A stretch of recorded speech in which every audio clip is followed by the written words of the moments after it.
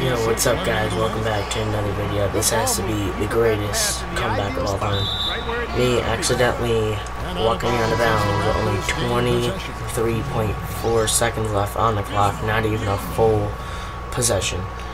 So, uh, I start off with a nice steal here, come back with a fadeaway three to make it a three-point lead for them.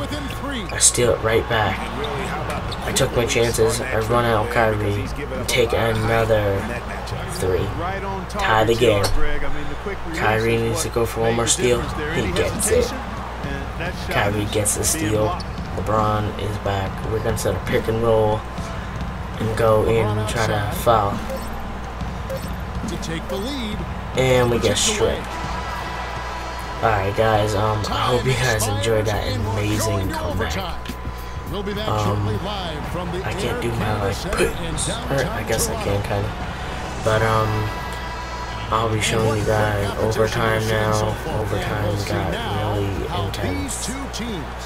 With a couple shots. Alright, well, well, I hope you guys enjoy it. Uh, peace out. Or not peace out. Peace. Let's check out who's on the floor. So on the floor for Cleveland. Down low, it's Love and Mozgov. J.R. Smith and LeBron at the two and three. And it's Irving in the point guard position.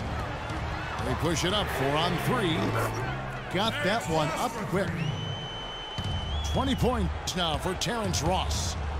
Well, the first thought from the D there was to protect the rim, so good idea to take the three in transition.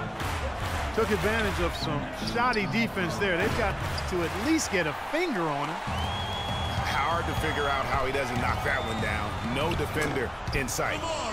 That's good. The assist totals, Kevin, just continue to grow. They're way ahead in that category. Ball movement has been flawless. Clearly just an example of a different mindset between these teams. Solid on the one-hand throw down there. You know, Clark, when it's a tight ball game like this, he's the guy they want with the ball. Yep. Yeah, and one reason why I just don't know that I've ever seen him miss a play like that. Luis Scola, he's checked in for Patterson. Now Cleveland moving it up. Irving leading the charge. And they take the lead. And now 24 points for LeBron.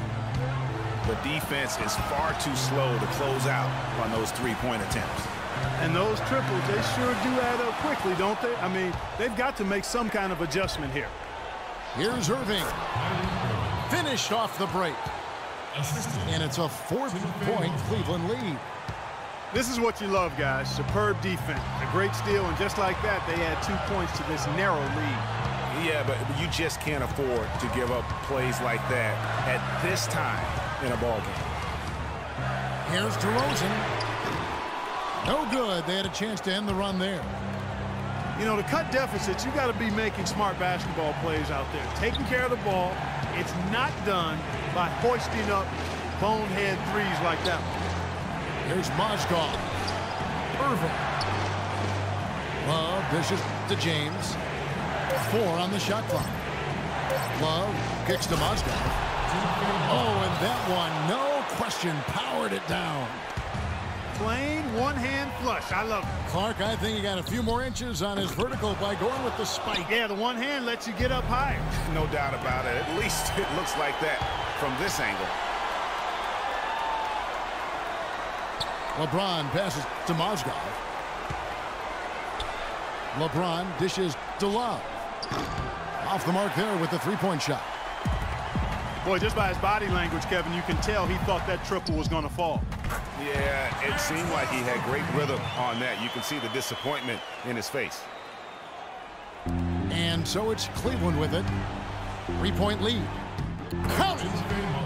And really, with every point from this point on, it seems like they're just closer to finishing this one off. If they haven't already done it. I mean, hey, it's been a tremendous all-around performance from this group. I don't think there's any question about that.